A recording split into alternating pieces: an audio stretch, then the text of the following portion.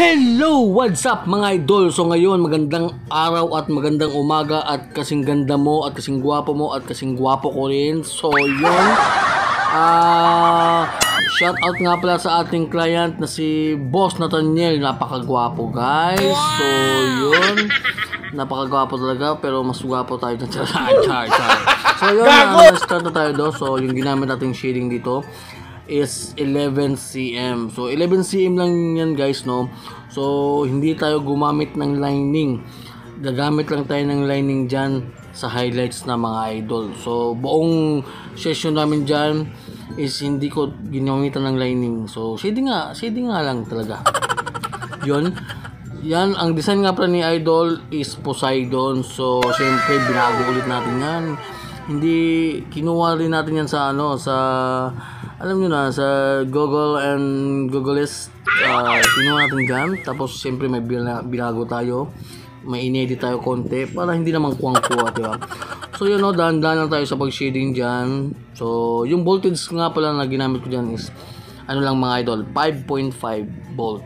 So, yung nakaka-relate ito guys is yung mga artist lang. Pero at least, uh, alam nyo, no? So, dyan, Oh, hanggang dyan, oh. Shading pa rin tayong shading. Wala talaga tayong line na ginamit dyan. So, napakalupit talaga ni Idol na Tanil. So, hindi lang malupit, napakagwapo pa. So, yun. Dyan, oh, dahan-dahan lang tayo sa ano, para hindi masyakit. Hindi masyakit. para hindi masakit. So, dyan, oh. Dyan na tayo gumamit ng lining mga idol. So, gumamit tayo ng 5RL dyan. So, yun, oh. Patut patutlok-tudlok ba? Yung patuslok-tuslok. Ganyan lang, simple lang talaga para walang para walang trauma ba hindi masakit. Para umabot kayo sa hanggang dulo ng walang hanggan. So, yan mga idol no. So, Poseidon. So, after 5 hours of session, grabe ito na yung aming final decision and result.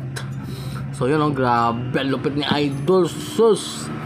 So, napakamaraming napakamaraming napakamaraming salamat sa iyo Idol Nathaniel no kasi kinaya mo ang ating session. So, may gagawin pa kami second second session dito kasi gagawin niya tong wrap around. So, yun, maraming salamat mga idol. Siyempre, papakita natin ang ating mga kagapuan, no? Grabe! You know, so, Siyempre, sa hindi pa naka-follow dyan, no? follow na kayo mga idol and say, don't forget to, don't forget to, to